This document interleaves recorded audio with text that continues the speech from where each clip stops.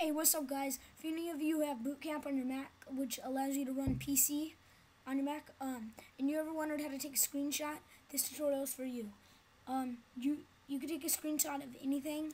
You all you have to do is press this function, which is FN, Shift, and F11.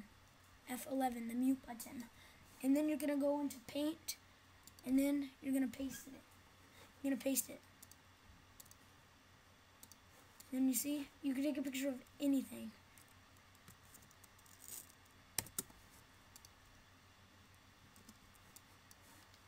And, alright, favorite, um, subscribe if you like the video, and also thumbs up if you like this desktop background, because you gotta admit, it's pretty funny.